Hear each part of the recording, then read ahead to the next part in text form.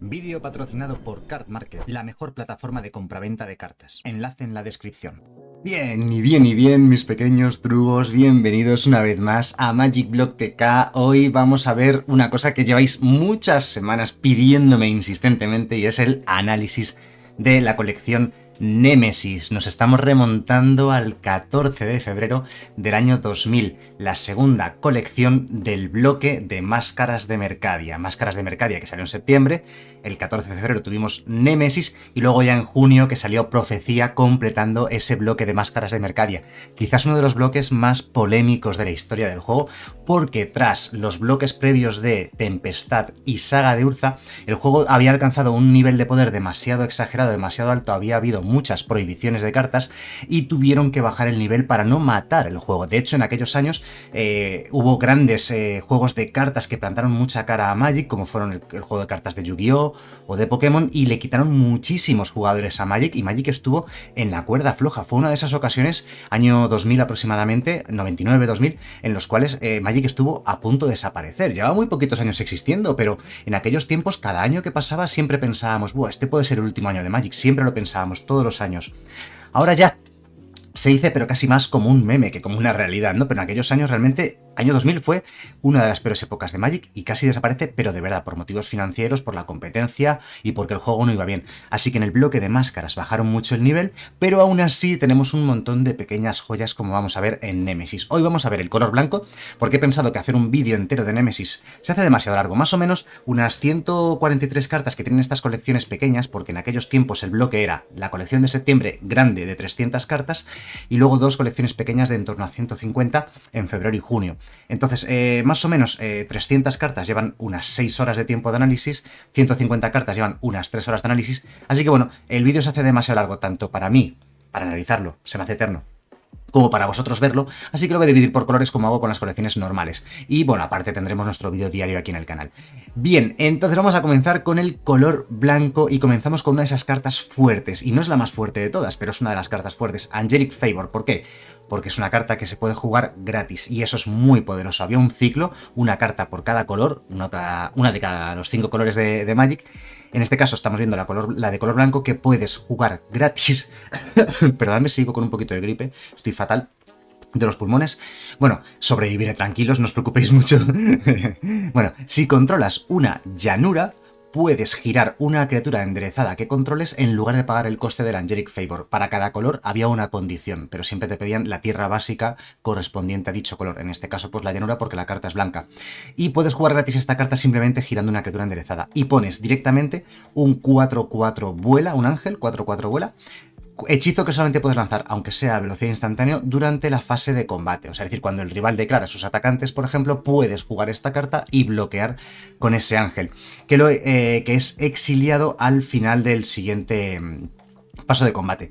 Y diréis, bueno, pues no es para tanto, pero sí, sí lo es, porque es un excelente truco de combate, tanto para limitado como para el formato estándar de aquella época, y además eh, es un hechizo que se puede jugar gratis, y eso siempre es un grandísimo aliciente en cualquier formato y en cualquier situación que nos podamos encontrar de Magic. Los hechizos gratis son lo más peligroso de Magic. Buena carta, como digo, sin ser de las buenas de, del ciclo de, cinco cartas, una por cada color, que nos vamos a encontrar eh, de este estilo de hechizos gratuitos. Muchas cartas no me voy a acordar de ellas porque yo de hecho en esta, en esta época el bloque de máscaras de Mercadia no lo jugué al igual que la mayoría de, los jugadores de Magic que dejaron de jugar Magic en esta época em, por, esos motivos que os he comentado. Así que muchas cartas o no las he previsto nunca o, no me acuerdo ya de ellas o lo que sea, ¿no? Avenger Endal por 2 es un 1-1. Fijaos una cosa importante que recalco siempre en las colecciones antiguas y es que normalmente los tipos de criatura están cambiados, están actualizados. Spell Shaper está cambiado a Human Spell Shaper, o sea que es humano. Es por 2 de mana un 1-1 Pagas 3, lo giras, descartas una, una, carta. Voy a mirar seguramente más este texto de aquí, porque es el texto oficial a día de hoy. ¿Vale? Descartas una carta y exilias una criatura atacante. Y su controlador gana vidas igual a su resistencia, recordando mucho a lo que serían unas espadas en guadañas, Swords to Plowshares. Una carta que no es muy buena, como podéis imaginar. Una carta para formato limitado, pero es rara. Antiguamente ocurría muy a menudo que, las raras eran malas, muy malas. Hoy en día ocurre menos, son bastante poderosas y de hecho... Eh, en formato limitado son auténticas bombas. Esta carta no es mala del todo, de hecho, para formato limitado, pero el rival siempre puede jugar en torno a ella, ¿no? Y además tiene un coste un poquito alto, pagar 3, girarla, descartar una carta y es pagado 2 de mana por un 1-1. Carta interesante, como digo, para formato limitado y que en estándar es más complicada de llegar a jugar. No sé si en, en aquella época se llegó a jugar esto en estándar, pero sinceramente me sorprendería que así fuese.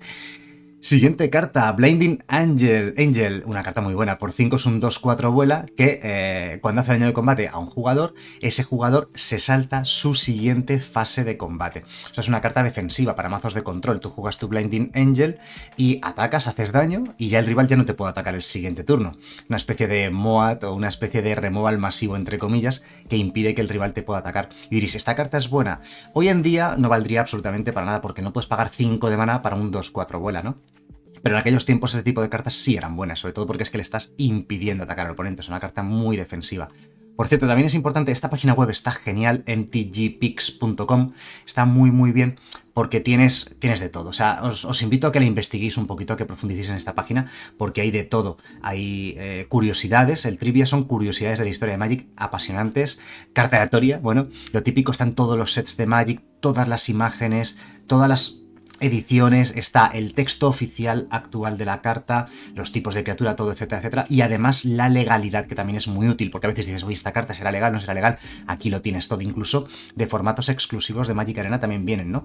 Así que está muy, pero que muy bien esta página y es la que muchas veces me preguntáis, oye, eh, ¿qué página utilizas para ver las las cartas y eso. Yo la que más recomiendo es MTG porque además tienes también la posibilidad de ver la, imagen ampliada de la carta. Si, si existe una versión ampliada, te la van a poner a la máxima resolución posible, se ve de lujo. Como podéis ver aquí, el dibujo es muy pobre, muy apagado, pero este debe ser el dibujo original. Esto seguramente sea que el dibujante eh, publicó eh, o puso de alguna manera digitalmente a disposición del público su eh, boceto original. Y luego, ¿qué es lo que pasa? Luego llegan los de Wizards of the Coast, cogen la imagen original y la pegan aquí con los colores totalmente apagados y además la imagen recortada, como podéis ver. Esta página está muy bien. Venga, siguiente carta. Chieftain Endal por 3 es un 2-2 que cuando ataca, las criaturas atacantes ganan dañar primero hasta el final del turno. Bueno, pues por 3 tienes un 2-2 dañar primero que también daría dañar primero a las otras criaturas atacantes. Una carta bastante mediocre, ¿verdad? Que no, no, no, no, no, da el salto ni siquiera a estándar. Humano, caballero, ¿de acuerdo? Human Knight, aunque aquí ponga únicamente Knight. Hay ciertos... Em, tipos de criatura antiguamente, que los llamaban caballeros en general, fuesen un trasgo, un orco o lo que fuese, y no especificaban su, su tipo real de criatura, ¿vale? Entonces les añadieron pues lo que correspondiese. Si era un sabueso, pues un sabueso. Si era un gato, pues un gato. O sea, hay, hay gatos caballeros en Magic. Bueno, pues le añadieron el tipo de criatura correspondiente al ser que está tras la armadura del caballero, claro, lógicamente. Siguiente carta, vamos a ver. Eh, por aquí.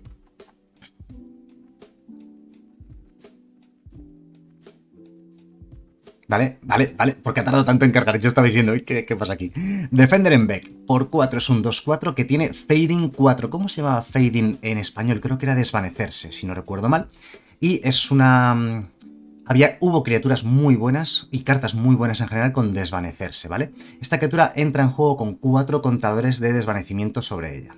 Al comienzo de tu mantenimiento quitas un contador de, desvanecimiento, de desvanecimiento, pero si no puedes, sacrificas la criatura. Básicamente vas a poder atacar tres veces con esta criatura, ¿de acuerdo? El turno que entra en juego eh, entra con cuatro contadores, al siguiente le quitas uno y le quedan tres, luego le quedan dos, luego le queda uno y luego ya se muere, ¿no? Es un 2-4. Lógicamente, si pagas 4 de mana por un 2-4 que va a estar en juego como mucho cuatro turnos en total, eh, eh, pues tiene que ser muy buena la carta. ¿no? Vamos a ver qué es la que hace esta, porque no me suena. Es una común, por cierto. Y dice, eh, remueve un contador de desvanecimiento del Defender en Beck para prevenir los dos siguientes puntos de daño a cualquier objetivo este turno. Una carta bastante nefasta. Pagar 4 de mana, hombre, que tiene 4 contadores, por tanto puedes prevenir hasta 8 puntos de daño, pero prevenir daños o curar o lo que sea es la peor habilidad que existe en Magic. Mirad, vamos a ver el tema de los dibujos. Me llama más la atención el tema de los dibujos. Este es el dibujo, parece tal cual, está casi impreso en la carta con un poquito de cambio de color. Y este se ve con mucha más nitidez, ¿no? Con mucha más claridad. De hecho, este detalle, por ejemplo, prácticamente ni se veía en, el dibujo original. Pasa muy desapercibido, se ve muy apagado, ¿no? Este dibujo seguramente sea el original, publicado por el dibujante, probablemente. Aunque no puedo asegurarlo, claro. Carta bastante mala yo diría que casi ni para limitado es interesante. Es otra cosa que antiguamente pasaba, que había cartas tan malas que no valían ni para construido ni para limitado. O sea, la podía romper, tirar a la basura y no iba a haber pasado nada en la historia de Magic después de ello. Por cierto, clérigo humano también, ¿vale? Añadido el, el texto.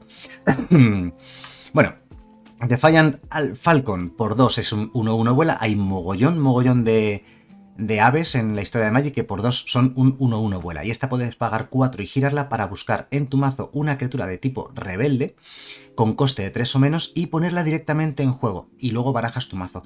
Sé que había, yo no jugué como digo esta época en estándar, pero sé que había un mazo de rebeldes y que era bastante, bastante bueno. Porque muchos de los rebeldes buscaban otros rebeldes. Sí, el coste puede ser un poco alto, pero piensa que lo puedes activar todos los turnos. Todos los turnos puedes poner en juego un rebelde de coste 3 o menos directamente el que necesites, ¿no? Y había muchos tipos de rebeldes y muchas criaturas. Así que yo no sé si este rebelde en particular, porque es un ave rebelde, eh, se jugó o no se jugó en estándar, porque había muchos otros que hacían algo similar a este, y este parece un poco pesado, ¿no? Pagar 4 y girarlos mucho, mucho mana. Pero como digo, es una ventaja de cartas absurda. Es todos los turnos, si tienes mana suficiente, pum, pum, pum, criatura gratis. Bueno, gratis, criatura extra, criatura extra, criatura extra. Así que la carta no es mala del todo para estándar, pero seguro que las había mejores. Me parece un coste un poquito alta, aunque la carta sea interesante. Defiant Vanguard por 3 es un 2-2 que cuando bloquea al final del combate destruyes al propio Defiant Guardian, Guardian Vanguard perdón, y a todas las criaturas que eh, ha bloqueado este turno. También puedes pagar 5 y girarlo para buscar en tu mazo un rebelde de coste 4 o menos y ponerlo en juego directamente y barajar tu mazo. O sea, es muy parecido al halcón que hemos visto antes. Este por 3 es un 2-2, el anterior era por 2 1-1. La anterior habilidad costaba 4, esta cuesta ya 5, pero te puedes buscar un rebelde hasta de coste 4. Y además este tiene una buena habilidad. La de bloquear a las criaturas del rival y matarlas no es nada mala también como habilidad, ¿de acuerdo? No sé si se jugó, me parecen muy pesados, o sea, muy lentos, mucho maná para activar sus habilidades. A día de hoy, obviamente, no puedes permitirte jugar un halcón 1-1 vuela por 2 de maná que te pide 4 de maná y girarlo para buscarte un rebelde, a día de hoy sería inviable porque Magic ha evolucionado y ha aumentado mucho el nivel de poder de las cartas, pero eh, antiguamente no era tan así, y más aún en este bloque de máscaras de mercadería que el nivel de poder era muy bajo, ¿no? Entonces a lo mejor estas cartas en el mazo de rebeldes se jugaban. Yo sé que se jugaba el mazo de rebeldes y sé que algunos rebeldes, los buenos, buscaban otros rebeldes, pero no recuerdo si eran estos de los que se jugaban o no, porque no jugué aquel estándar. Fanatical Devotion, por 3, encantamiento, sacrificas una criatura, regeneras una criatura. Madre mía, por cierto, regenerar es una habilidad de Magic que está un poquito en el olvido, hace muchos años que no la editan en estándar. Regenerar dice, em, evita la destrucción, ya sea destrucción directa o por daño de, de una criatura, ¿vale? Y esa criatura, una vez que es regenerada, se gira y sale del combate si ocurriese de esa manera, ¿de acuerdo? Tampoco me voy a ponerme a espallar mucho con el tema de regenerar porque es una habilidad, como os digo, que hace muchos años que en estándar no está, la han querido denostar, la han querido apartar, no sé por qué realmente no, no, me parece tan mala. Vale, podéis ver aquí el dibujo, me gusta mucho este dibujo, está haciendo aquí un salto suicida, la carta es malísima, lógicamente, tienes que sacrificar una criatura para regenerar otra criatura. Este es el dibujo seguramente más original de la carta, parece, y luego aquí la impresión en carta, como podéis ver, cambian muchísimo los colores de las cartas. Carta terrible. Lash Knife, vamos a ver, por dos es un encantar criatura. A día de hoy ya la terminología encantar criatura no se utiliza, sino que son encantamientos y si encantan algo, se llaman auras. Por ejemplo, pueden encantar una criatura, una tierra, un artefacto, lo que sea, ¿vale? Se llaman auras los encantamientos que encantan cosas concretas. Si un encantamiento no encanta nada concreto, sino que se pone directamente sobre la mesa, simplemente pone encantamiento. Antiguamente y a día de hoy también pondría solamente encantamiento.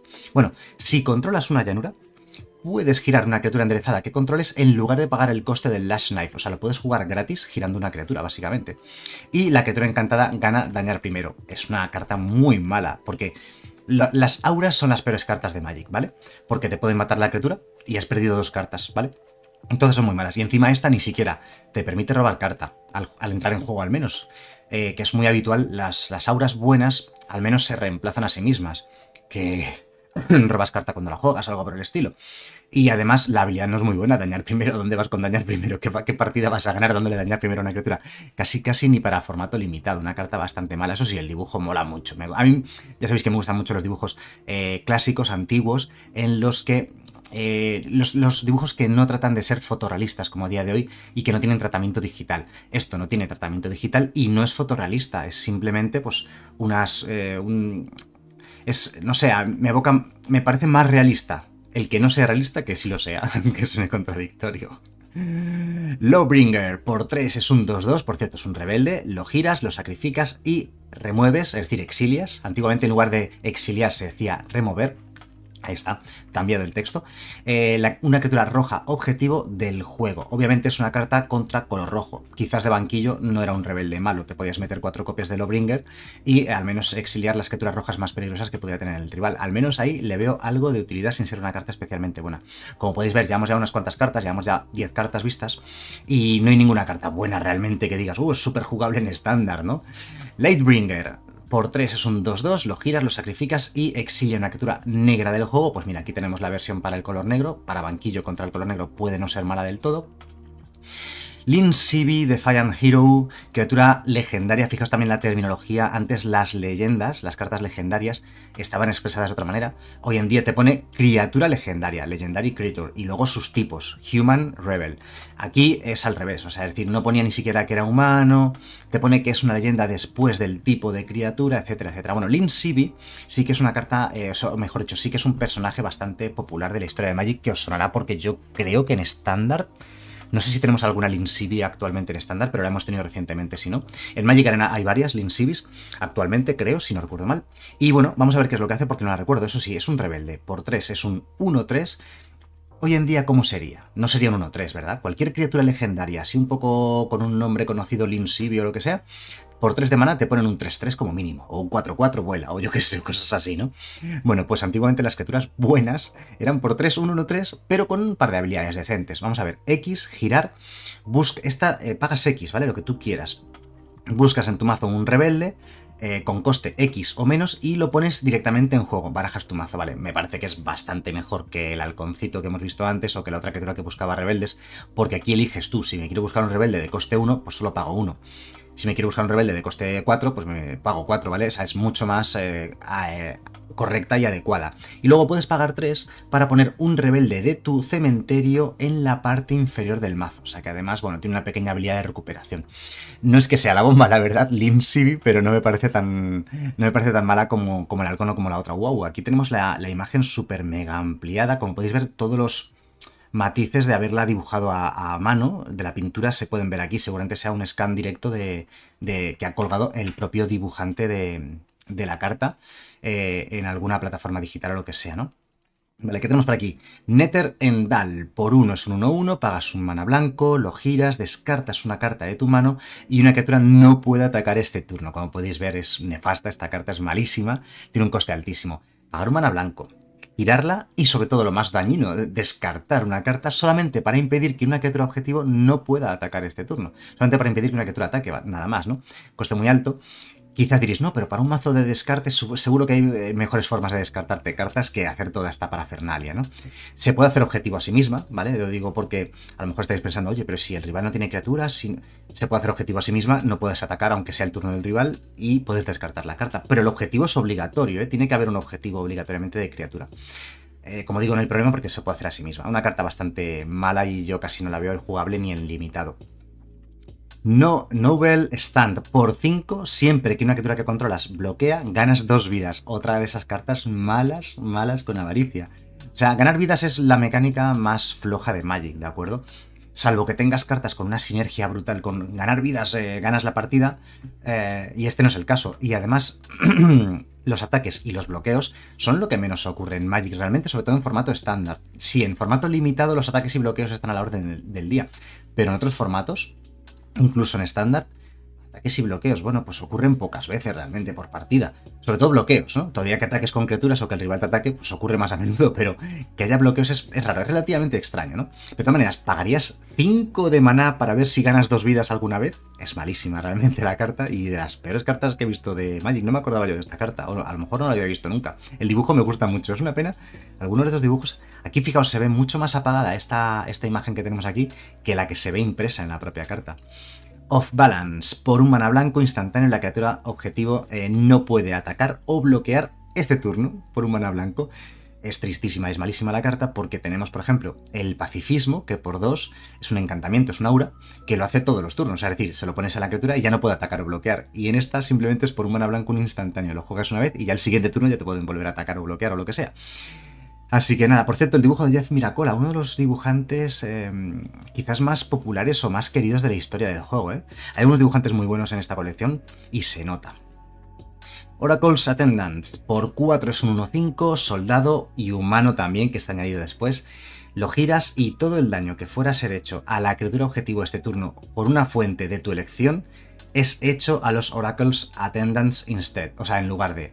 Bueno, el caso es que es la típica criatura que se redirige el daño a sí misma, ¿no? ¿Le va a hacer daño a cierta criatura? Pues se lo dirige a sí misma. Como aguanta 5, vale. La carta es malísima. Fijaos qué rara. Tú te abres un sobre y te sale esta rara y dices, pero ¿y qué hago con esto? Por 4 de mana, un triste 1-5. Hay que girarlo para activar su habilidad y simplemente lo único que hace es redirigir daño de una criatura a sí misma, ¿no? Entonces es, es, una carta mala, a lo mejor en limitado pues es bastante molesta y eso y tal, pero es que ni siquiera es una carta con la que vayas a ganar muchas partidas en limitado. Parallax Wave, y esta es una de las mejores cartas de esta colección y una de las mejores cartas, no voy a decir de la historia de Magic, pero sí de, ciertas épocas de Magic. Eh, antiguamente había un formato que se llamaba formato extendido, ese formato desapareció. Era como el formato modern actual, ¿vale? Pues era el equivalente. El formato extendido... Em, un formato eh, tan popular como Modern y parecido en cuanto a la cantidad de cartas que había y a la historia que tenía detrás. Bueno, pues las olas de paralaje, eh, las Parallax Wave, eran una de las mejores cartas que había en ese formato. Y en su formato estándar también fue una de las mejores cartas, lógicamente. Tiene Fading 5, o sea, desvanecerse 5. o sea, en total va a estar hasta como máximo 5 turnos, pero la gracia era que podías quitarle un contador de desvanecimiento para exiliar una criatura del juego. dices, wow, qué pasada. Cuando las olas de paralaje desaparecían, o sea, mejor dicho, cuando dejaban el juego, las criaturas exiliadas volvían al juego. Vale, entonces, ¿qué significaban estas Parallax Waves? Eh, que tenías cierto tiempo de vida extra contra criaturas peligrosas o agresivas del rival. Sí, tarde o temprano iban a volver, pero cuando volviesen, pues ya tenías preparada tu ira de Dios, u otras olas de paralaje, o lo que sea. Te daban un montón de tiempo contra criaturas peligrosas. Además, también servía para tus propias criaturas, ¿vale? Entonces podías exiliar criaturas tuyas que luego al entrar en juego otra vez, pues tuviesen habilidades de entrar en juego. O sea, era una, una carta versátil. El quitar un contador lo puedes hacer a velocidad instantánea, o sea, en respuesta a cualquier cosa que haga el rival, en cualquier momento podías activar su habilidad. Y como digo, pues es una carta que marcó mucho su formato estándar e incluso el antiguo formato extendido, como un removal muy, muy eficiente. Sí, sé que son pocos turnos, pero y que 4 de mana puede parecer mucho, pero en aquellos tiempos no era tanto pagar 4 de mana y eran con que pudieses exiliar a criatura un par de turnos o tres, varias criaturas de ellas, pues ya hacía sus cositas. Y de hecho lo que ocurría generalmente era eso, que volvían ya las criaturas del rival, pues toma de Dios, ya te las mato todas. Pero con la Parallax Wave se ganaba bastante tiempo, además de todas sus trucos y sinergias. Muchos os acordaréis de ellas. Otra carta muy buena, el sello de limpieza, creo que se llamaba en español, Seal of Cleansing, of Cleansing por dos, encantamiento, sacrificas el sello, destruye un artefacto o encantamiento. Era un desencantar en forma de encantamiento. El desencantar era instantáneo, y esto era exactamente igual, pero en forma de encantamiento, entonces podías dejarlo en juego, ¿vale? Podías jugarlo cuando te sobrase el mana, lo dejabas en juego y ya lo activarías. Además de que hay muchas sinergias con encantamientos. O sea, hay muchas cartas que simplemente por el mero hecho de haber encantamientos en juego, o jugar encantamientos, o entrar permanentes en juego, se disparan habilidades, como ya sabéis. Así que esto te daba la posibilidad de disparar otras cosas, ¿no? Por ejemplo, teníamos eh, en la colección anterior, en Saga de Urza, había una tierra que daba un mana blanco por cada encantamiento que tuvieses en juego. Así que ya está. El sello de limpieza con la tierra, el Serras Santum se llama, ¿no? En español. Eh, si no me acuerdo, si no recuerdo mal, de Saga de Urza, y el bloque, o sea, es decir, y este estándar fue Saga de Urza con máscaras de Mercadia. O sea, eh, era un estándar muy poderoso. Bueno, pues el sello de limpieza, eh, ahí había encantamientos muy buenos. El sello de limpieza era una de las mejores cartas de esta colección y supongo que incluso a día de hoy seguirá, siendo, seguirá habiendo juego en Modern o en Legacy, en los mazos que lo requieran, o incluso en Vintage. No me sorprendería que siguiese viéndose algún sello de limpieza de este estilo por, como digo, las sinergias que tiene el mero hecho de que es un permanente que entra en juego y que además es un encantamiento con todo lo que puede implicar o significar. Una carta muy muy buena y de las mejores de la colección. Por cierto, al igual que otras cartas, había un ciclo de cinco cartas, una por cada color de este estilo, que eran sellos que se quedaban en juego en forma de encantamiento y tenían relación con su color. Por ejemplo, pues el rojo hacía un choque, hacía dos puntos de daño a cualquier objetivo. Eh, cada uno tenía su peculiaridad relacionada con su color, que bueno, iremos viéndolas según vayamos avanzando. ¿Qué tenemos aquí? Silken Fist Fighter, por dos es un soldado Core, le añadieron Core 1-3, que cuando es bloqueado se endereza. O sea, una carta de esas nefastas que casi ni para formato limitado valen. No hace nada, ¿no? Silken Fist Order por 5 es un 3-5, lo mismo que cuando son bloqueados se enderezan. O sea, es que, mira, aunque fuese directamente por 5, un 3-5, con vigilancia, es decir, que no se gira al atacar, incluso aún así sería mala. Pues esta ni siquiera eso, tiene que ser bloqueado para que se enderece y parezca que ha tenido vigilancia. La carta terrible. Civis Rush por 4 instantáneo. Si un oponente controla una, una, montaña y tú una llanura, lo puedes jugar gratis. Evidentemente es una carta de banquillo contra mazos rojos previenes todo el daño que fuera a ser hecho este turno a las criaturas que tú controlas. O sea, es, ni siquiera es especialmente buena. Eh, simplemente pues, protege tus criaturas de daño. Es una especie de counter a ¿me matas una criatura? Pues no. Si Rush le prevengo todo el daño de tu fuente roja y, ya está. Bueno, de tu fuente. Lo juego gratis, eso sí que es cierto, si controlo una llanura y tú controlas una montaña, lo cual es muy probable si el rival juega rojo, pero nada, de, nada del otro mundo. Civis Baylor, por 3, instantáneo, If you control o sea, si controlas, joder, se me va la olla.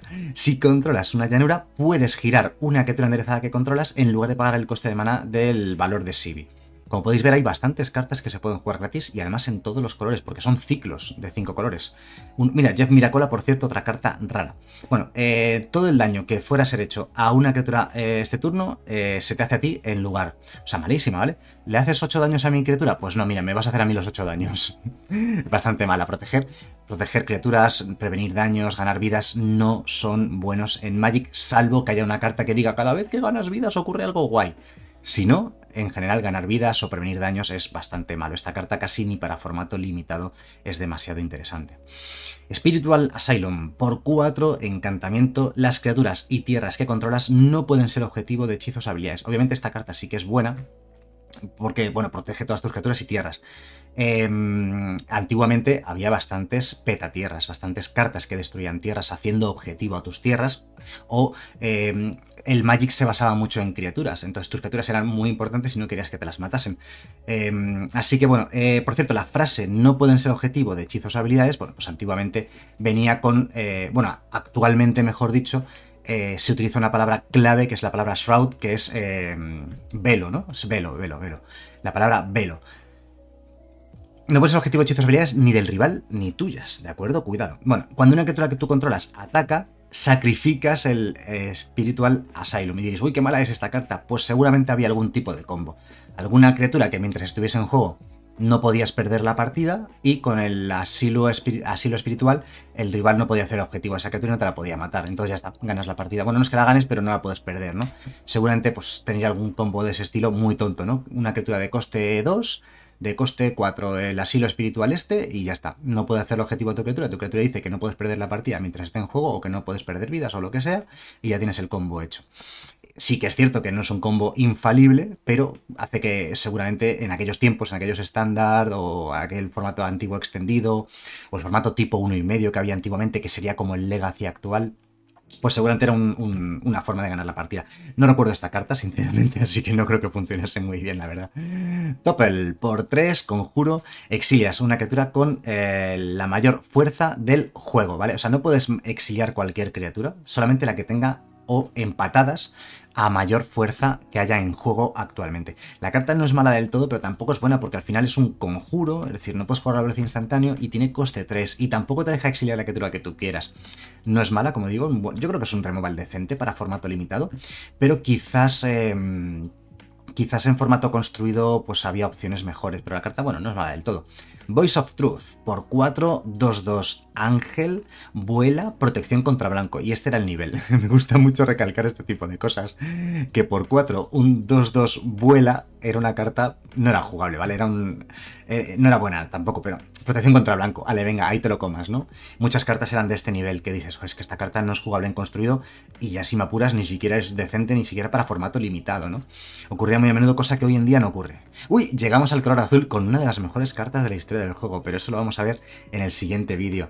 Bueno, no está mal, creo que este formato de vídeo, eh, fragmentitos de media hora, para analizar Nemesis u otras colecciones, creo que está bien por dos motivos. Primero, para mí, para no comerme tres horas aquí de Nemesis yo aquí solo en mi habitación comentándolo, y tampoco para vosotros, porque mucha gente, o sea, ¿quién va a verse un vídeo de tres horas? Sí, sé que muchos me dejáis de fondo ahí escuchándome y todo eso, lo sé, pero bueno, eh, ¿qué más os da que esté en tres horas seguidas que en seis fragmentos de, media hora cada uno, ¿no? Y al final, pues suma las tres horas eh, y lo podéis ver o sea, YouTube os lo vais saltando de seguido, ¿no? Porque ya sabéis que todo esto está en diferentes eh, playlists, ¿no? En listas de reproducción de, de, YouTube o, sobre todo, en mi página web, magicblogtk.com, que de hecho podríamos verlo en un segundito, magicblogtk.com, que lo tengo por aquí, ahí está, magicblogtk.com, aquí donde veis las eh, colecciones, clicáis en colecciones, hay mogollón de publicidad, y eh, están el análisis de todas las colecciones que lo podéis buscar rápidamente, la colección que queréis ver, color por color,